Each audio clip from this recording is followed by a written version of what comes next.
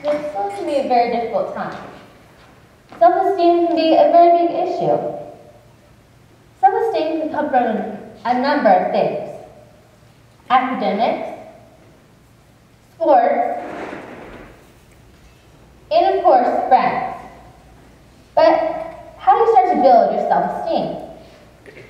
I believe if you find something that you enjoy and something you're passionate about, this builds your self-esteem. But it's not all that easy. We are just a work in progress. An example of somebody who uses their passions to change the world would be Martin Luther King. For me, I tried to find my passion at a very young age of only three years old. First, I tried dance, then I tried tumbling. but neither of these were very good options because as I was cute, I wasn't very coordinated at dance and fell down more than I was standing up and tumbling, which definitely didn't build my confidence.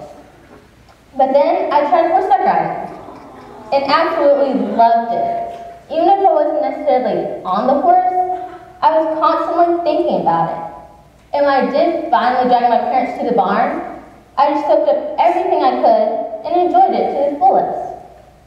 Then, and then I started competing at local horse shows, and I did pretty well, which definitely built my confidence. Not, it built my confidence not only in horseback riding, but also in my academics, which was very good because as I was, as teachers would say, a reluctant reader.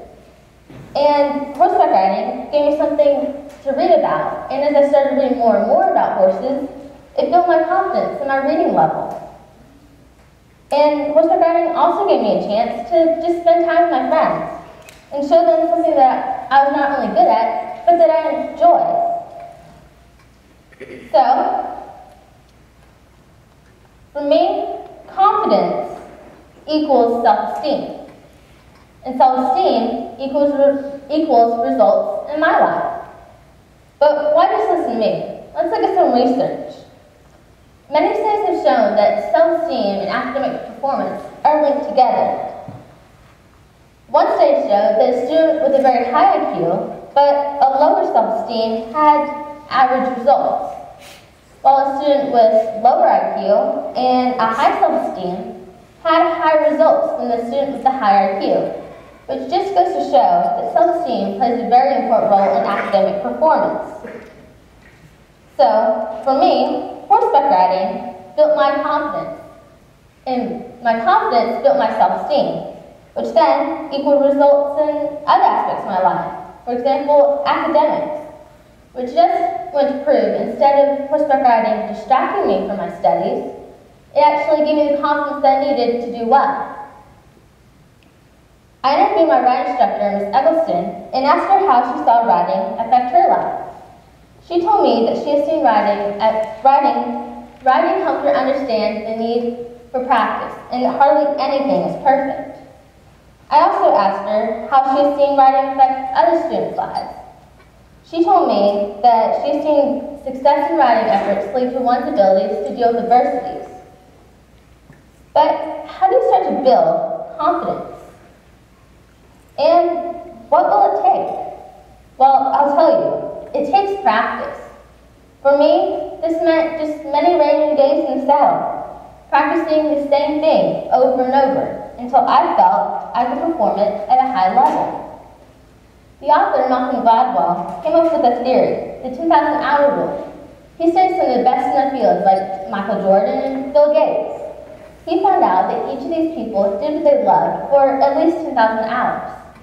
Now, I'm not saying just to go out and clock 10,000 hours to say you did it, but I do believe that if you find something that you enjoy, you'll spend time doing it and build your confidence. But remember, practice equals self-esteem and self-esteem is the key to success. So, go out and find your passion. Spend time doing it. And just enjoy doing it. And stick to it and practice. Now, this practice won't always be easy, and it will be hard, but it will pay off. And take the lessons into the rest of your life. And most of all, just remember to enjoy the results. These results might be a first place ribbon, perhaps even just a good laugh with your friends, or even academics. But for me, it all started with horses. I found something that I loved and something that I was good at, which built my confidence greatly. Whisper writing also let me be the very best me that I could be. So, for you, it could be sports, it could be music, perhaps dance, or even academics. But whatever it